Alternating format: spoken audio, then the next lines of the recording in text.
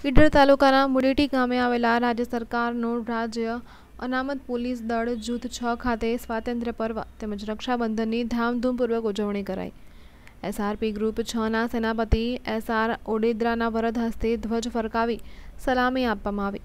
તેમજ ગ્રુપના જવાનો દ્વારા પરેડ યોજવામાં આવી હતી અને સેનાપતિએ તમામ જવાનોને સ્વાતંત્ર્ય પર્વની શુભેચ્છા પાઠવી હતી.